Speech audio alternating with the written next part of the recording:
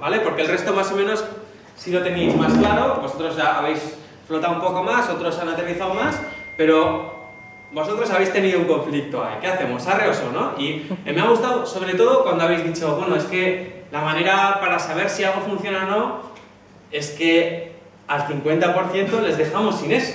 ¿Vale? Eso es una salvajada, porque te estás cargando al 50% de la, de la población. El a hace mucho daño. ¿Cuál es, es, es, el plano técnico? ¿Cuál es la alternativa a cargarte el 50%? Cargarte el 100%.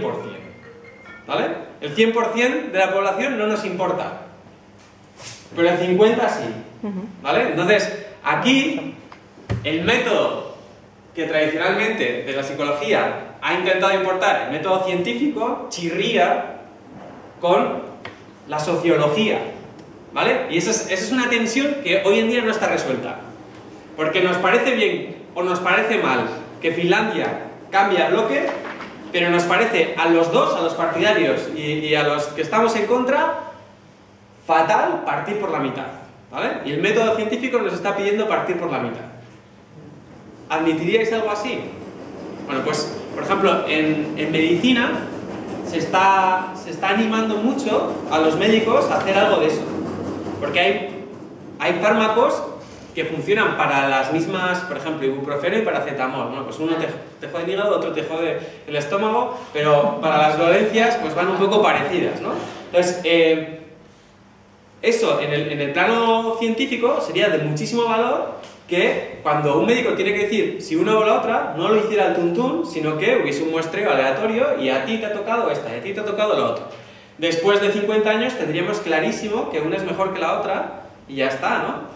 Pero eso nos causa cierta tensión como sociedad. Es decir, cuando, cuando de repente a ti te ha tocado paracetamol y después de 30 años se dice, no, es que el paracetamol es, es veneno, ¿vale? Es, es, es lo peor. Pues entonces te cagas en todo, demandas y haces lo que sea. Pero si te han ido dando un poco de cada uno, pues, pues ya está, ¿vale? Veíais también, por ejemplo, dice, no, como, como no podemos dejar sin tratamiento a alguien, pues lo, lo podemos, otra cosa que es muy típica en, en, metodología experimental, lo podemos contrabalancear. A unos le decimos durante los primeros años estos y durante los otros primeros años nosotros, tratamiento A y luego B, y al otro B y luego A. ¿Vale? Pero hay un efecto de orden. Y hay también gente que dice que hay estadios críticos de aprendizaje. No es lo mismo lo que aprendemos de 3 a 9 años que de 9 en adelante, ¿vale? Entonces, cuánto van a durar las etapas es complicado. Lo que, lo que os quiero decir es que hay mucha gente investigando en educación y hay mucha gente opinando en educación. La gente que opina en educación probablemente, en la mayoría de los casos, no se basa en ningún dato, ¿vale? Entonces, eh, Cinco minutos de comportamiento humano, ¿vale? Podemos analizar el comportamiento humano. A ver si esto va adelante para atrás. A ver si el, el se ha soltado. Un, un segundito, ¿eh?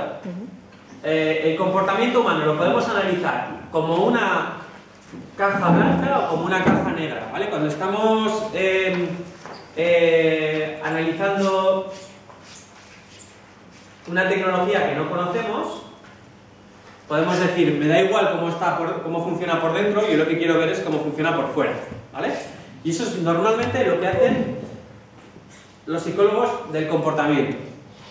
Y eh, lo que hacen los neurocientíficos es caja negra, ¿qué es caja blanca? Perdón, vamos a abrir el cerebro y vamos a ver lo que hay dentro. ¿Vale?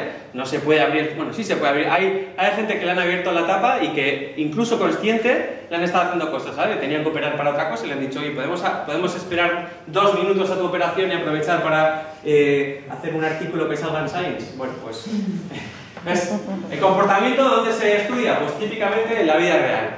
Los supermercados, por ejemplo, son laboratorios de comportamiento salvajes. ¿vale? Y, en esto los psicólogos pues, eh, están haciendo muchas cosas. Y la otra, o la otra vertiente es el tema de los correlatos fisiológicos. ¿Cuál es, bajo mi punto de vista, el, tiempo en el que nos encontramos? En el auge de todo esto. ¿vale? Esto ahora mismo está hiper de moda. Cuando alguien viene a hablarnos de nuevos paradigmas para evaluar la educación, nos habla de neuro lo que sea. ¿vale? Neurociencia, neuromarketing, neuromarca, neurotal, neuropascual. Eh, ¿Por qué? Porque esto es fácil de medir. pones máquinas que cuestan bastante dinero, pones a gente y tienes datos. Datos que luego es muy difícil pasar al, campo macro. ¿vale? Sabemos el campo micro, pero no sabemos pasar fácil al campo macro.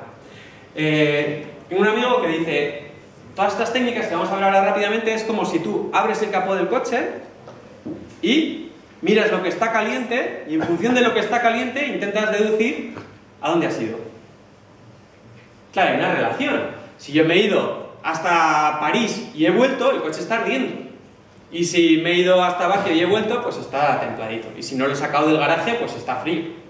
¿Vale? Hay una relación, hay, hay, hay una variable que, puede explicar parte de todo eso.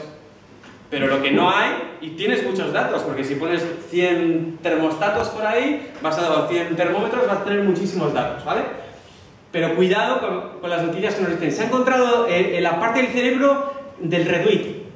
¿Vale? Porque, porque los de Twitter están flipados con, con el tema de la neurociencia. Dicen, no, es que hemos puesto a 5.000 personas y hemos visto que cuando retuitean a todos se les enciende esa parte, ¿vale? Está el clic del neurotweet, está ahí, ¿no? Pues, pues no, no va por ahí la cosa, ¿no? Tenemos encefalografías... ¿Cómo? tenemos resonancia magnética, tenemos eh, tomografía por emisión de positrones. Hoy en día casi no cuelas un paper sobre psicología si no tienes una foto de estas, ¿vale? Entonces la gente las mete casi pues porque hace falta, ¿no? Es, un poco el, objetivo, ¿no? Y, y, y gente diciendo que incluso el cerebro se puede hackear.